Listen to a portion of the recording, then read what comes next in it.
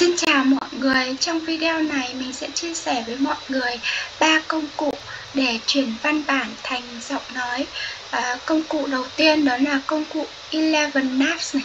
Công cụ này dùng để chuyển à, văn bản à, tiếng Anh nhé.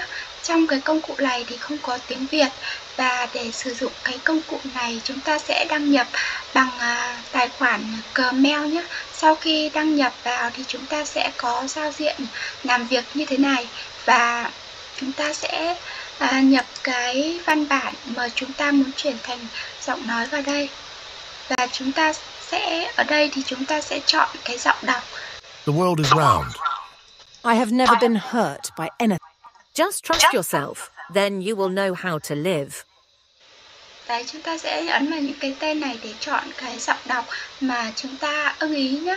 Ví dụ mình sẽ chọn cái giọng đọc uh, Jessica ở đây nhé. If you spend your whole life waiting for the storm, you'll never enjoy the sunshine. Sau đó mình ấn vào chữ Celerus uh, Speed này để chúng ta um, tạo ra cái uh, giọng đọc nhé. I like many sports, but I like football the most. I am good at playing football.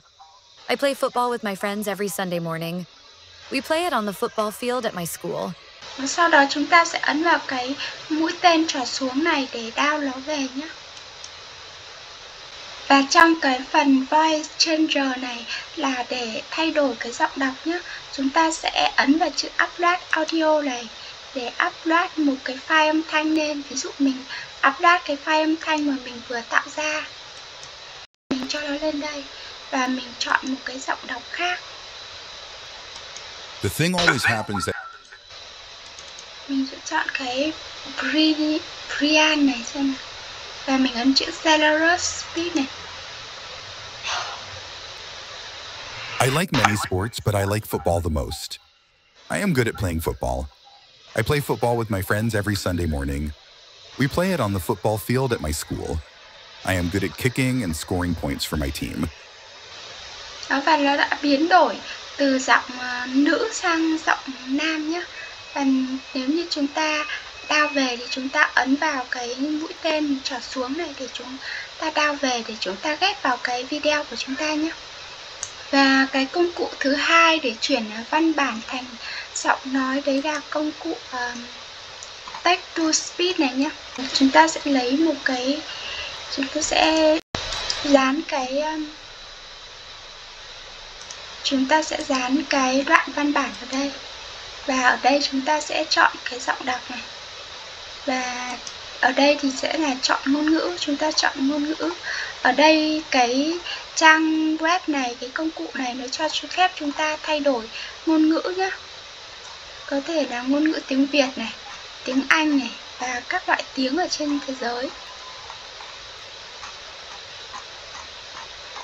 cái này là văn bản tiếng Anh thì mình mình sẽ để là tiếng Anh này nhé và mình sẽ ấn vào đây để nghe thử cái giọng đọc The life that you are living now is also a dream of millions.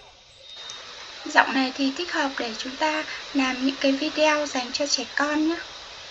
The life that you are living now is also a dream of millions. The life that you are living now is also a dream of millions. Đó, chúng ta ví dụ mình sẽ chọn cái giọng à, của trẻ con này đi và mình sẽ ấn vào chữ convert now để biến văn bản thành giọng đọc này. Chúng ta sẽ đợi nó một chút. I like many sports, but I like football the most. I am good at playing football. I play football with my friends every Sunday morning. We play it on the football field at my school. I am good at kicking and scoring points for my team. Để đả tải cái file âm thanh này về, mình sẽ ấn vào cái chữ download MP3 này nhé. Sẽ lấy một cái văn bản bằng tiếng Việt và mình sẽ cho nó đọc tiếng Việt nhé. Mình sẽ copy cái đoạn văn bản này.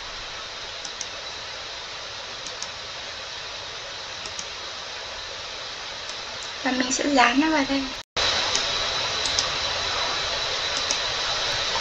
và sau đó mình à, chọn vào cái ngôn ngữ ở đây là ngôn ngữ tiếng Việt nhé chọn ngôn ngữ tiếng Việt. Và mình sẽ chọn uh, giọng nam hoặc giọng nữ. Ở đây thì tiếng Việt thì nó chỉ có hai giọng thôi. Cuộc sống mà bạn đang sống bây giờ. Cuộc sống mà bạn đang sống bây giờ. Đó, mình sẽ chọn cái giọng này. Sau đó mình uh, convert nó ra. Ngày xưa ngày xưa có một con cú già sống trên một cây sồi to. Mỗi ngày nó đều phóng tầm mắt ra thật xa để quan sát những điều xảy ra xung quanh mình. Có khi nó nhìn thấy một cậu dạ. và để đao cái file âm thanh này về mình sẽ ấn vào chữ download mp3 này.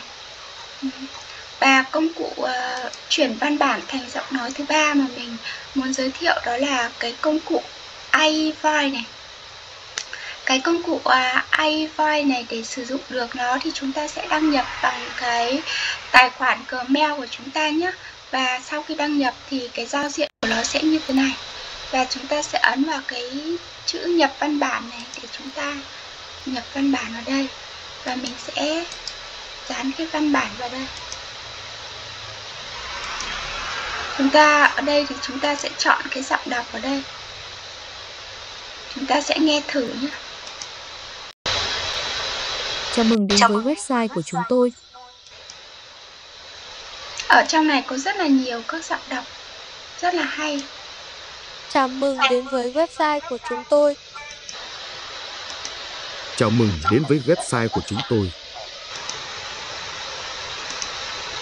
Chào mừng đến với website của chúng tôi. Chào mừng đến với website của chúng tôi. Và chúng ta sẽ chọn một cái giọng đọc này sau đó ở đây thì chúng ta sẽ chọn tốc độ đọc nhé. Đọc bình thường hay đọc chậm hay đọc nhanh thì chúng ta sẽ chọn ở đây.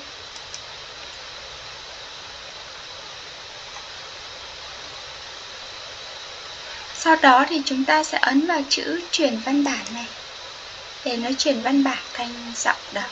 Chúng ta sẽ đợi nó một chút. Sau khi nó chuyển văn bản thành giọng nói xong thì chúng ta sẽ tích vào cái ô chấm ở đây và chúng ta sẽ ấn vào chữ tải xuống này để tải cái file âm thanh này về nhé. Và như vậy là mình đã giới thiệu với mọi người ba cái công cụ chuyển văn bản thành giọng nói rồi nhé.